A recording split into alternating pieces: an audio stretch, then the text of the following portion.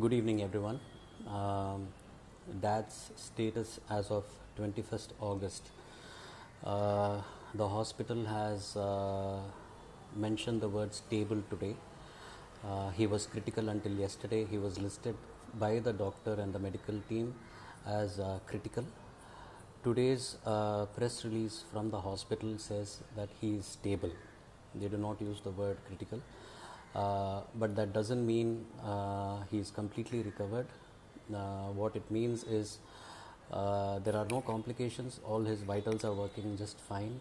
And as I keep saying, that we have complete hate, uh, faith and confidence in the medical team uh, and all the prayers that are coming our way.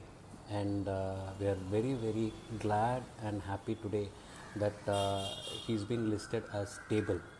Um, I, I again thank each and every one of you for the prayers, the love, the concern that you have showered upon my father and this family.